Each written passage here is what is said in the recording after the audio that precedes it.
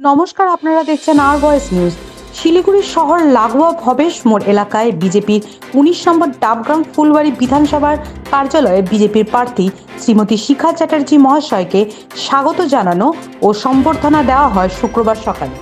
এই বিধানসভার সকল স্তরের কার্যকর্তাদের উপস্থিতিতে সে শিখা চ্যাটার্জিকে সম্বর্ধনা এবং স্বাগত জানানো হয় বিধানসভার লড়াইয়ে সামিল হওয়ার জন্য। শুক্রবার প্রথমে ভবেশ মোড়ের দলীয় কার্যালয়ে সংবর্ধনা অনুষ্ঠান, এরপর একটি বৈঠক করা হয়। বৈঠক শেষে একটি ডিজিটাল ট্যাবলোর সূচনা করেন বিজেপির ডাবগ্রাম ফুলবাড়ি এলাকার আহ্বায়ক প্রসেনজিৎ পাল এবং শিখা চ্যাটার্জি। ট্যাবলো উদ্বোধনের পর শিখা চ্যাটার্জি বেরিয়ে পড়েন ভোটের প্রচারে। ডাবগ্রাম ফুলবাড়ি এলাকার ইস্টার্ন বাইপাস, পার্শ্ববর্তী এলাকায় অলিগলিতে ঘুরে বেড়ান বিজেপি প্রার্থী শিখা চ্যাটার্জি।